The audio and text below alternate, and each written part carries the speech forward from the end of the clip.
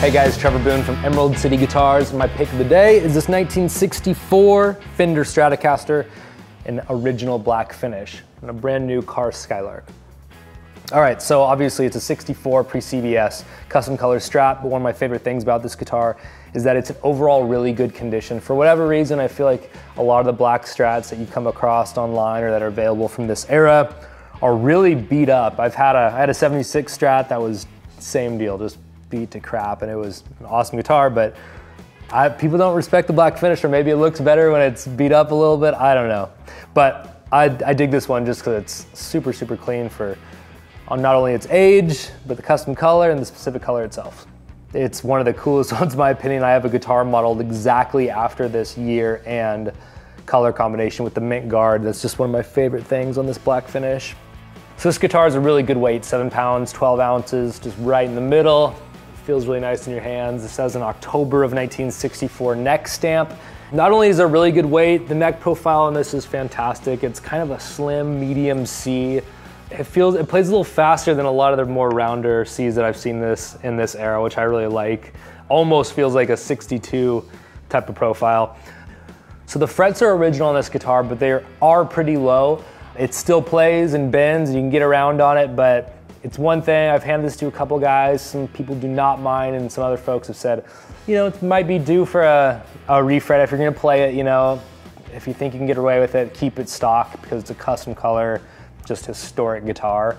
Obviously has the Hendrix ties and all that, so guys go nuts about the black guitars, that cool mint green pickguard. It's just an amazing piece and sounds awesome as you'll hear. So the Carr Skylark is one of my favorite amps that are produced these days. Every piece of this is just high-end components. They sound amazing. They're familiar in a way because I come from kind of Fender blackface territory, so I can get those awesome cleans. This is 6V6s, uh, 12 watts, has an attenuator, master volume type of thing that you can bypass, keep it open. Really, really practical, very usable amp. I plug a ton of guitars into it just because it represents those instruments well. I actually borrowed one from the shop a couple months ago for a show I played where I usually play Fenders, but I needed a different wattage. There's a lot of amps on stage. So I brought this little guy and it sounded unbelievable and just responded really well to that room at a you know, bigger venue rather than just a little bedroom or office or studio. So putting it to the test in that way 100% won me over. So anyways, that will sound awesome. This will sound great.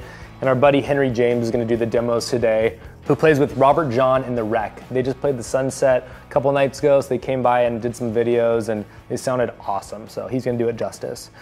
All right, again, 1964 custom color black Strat and a brand new Carr Skylark.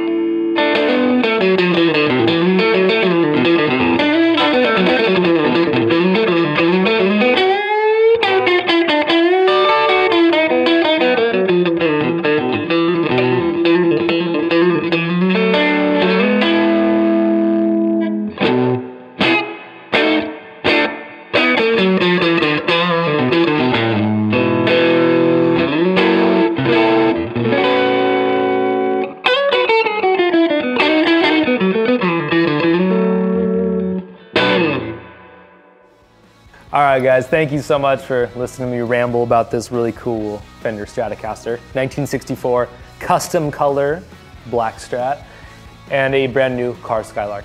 See you next time.